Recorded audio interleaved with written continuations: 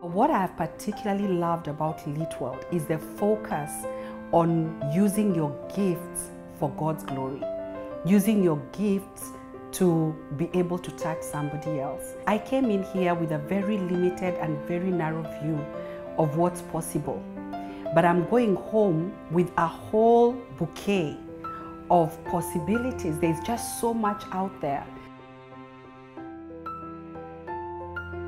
It is a great joy to learn many new things for me.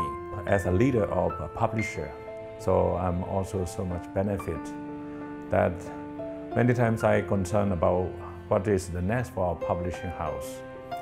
Then I learned that this is God's ministry and God is going to do his business.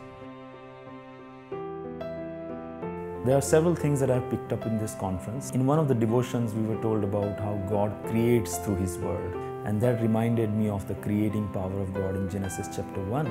The written word, the spoken word has power. I can see things clearer.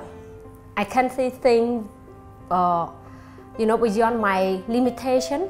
Before I, I don't think big picture, but now I can see things clear and bigger picture.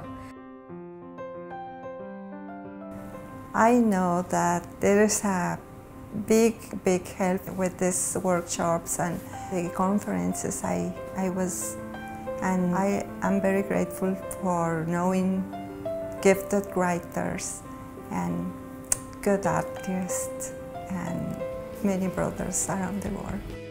I'm thankful too that I met uh, all those wonderful people from 50 other countries. I'm so grateful and thankful. Definitely the contribution they have made is going to have a great impact on the national movement I work with.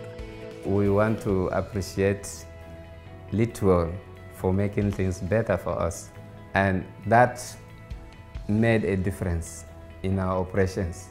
It made a big difference.